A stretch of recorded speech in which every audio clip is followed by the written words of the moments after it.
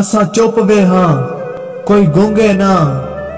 ਲੱਭ ਸਾਰੇ ਲਫ਼ਜ਼ ਅਲਾ ਸਕਦੇ ਇੱਕ ਤੇਰੇ ਦਰਦ ਸਤਾਇਆ ਹੈ ਬਾਕੀ ਕਹਿੰਦੇ ਦਰਦ ਸਤਾ ਸਕਦੇ ਤੇ ਮਤਾਂ ਸਮਝੇ ਹੌਸਲੇ ਮੁੱਕ ਗਏ ਹਨ। ਗਮ ਖਾਰ ਸਤਮ ਅਜਾ ਚਾ ਸਕਦੇ ਨੇ।